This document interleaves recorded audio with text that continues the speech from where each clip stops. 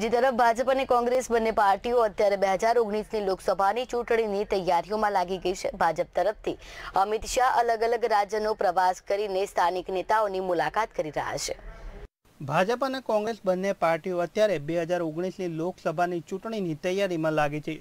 ભાજપ તરફથી અમિત શાહ અલગ અલગ રાજ્યોનો પ્રવાસ કરીને સ્થાનિક નેતાઓ સાથે તૈયાર કરી રહ્યા છે. ત્યારે બીજી બાજુ કોંગ્રેસના પૂર્વ રાષ્ટ્રીય અધ્યક્ષ સોનિયા ગાંધી પણ હવે સક્રિય થયા છે. તેમણે ભાજપ સામે વિપક્ષોને એકજૂટ કરી સંયુક્ત મોરચો ઊભો કરવાની જવાબદારી સ્વીકારી છે.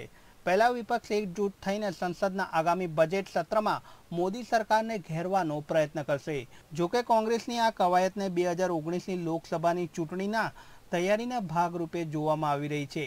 આ માટે સોનિયા ગાંધી અને શરદ પવાર વચ્ચે વાતચીત થઈ છે.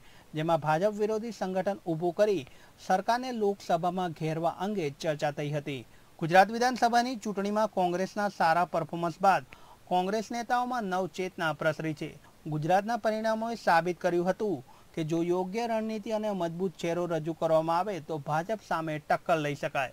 તાજેતરમાં અહમદ પટેલે જણાવ્યું હતું કે ગુજરાતની ચૂંટણીએ કોંગ્રેસને સિગ્નલ આપ્યું છે કે ભાજપને હરાવી શકાય છે. મહત્વનું છે કે કોંગ્રેસની કમાન રાહુલ ગાંધીને સોંપ્યા બાદ સોનિયા ગાંધી રાજકારણમાંથી નિવૃત્તિ લેશે તેવી ચર્ચા ચાલી રહી હતી. પરંતુ તેમણે ફરી એકવાર સક્રિય રાજકારણમાં પોતાની ભૂમિકા શરૂ કરી દેતા તેમની નિવૃત્તિની અટકળો પર પૂર્ણ વિરામ મુકાયું છે. Bureau report, CN twenty news.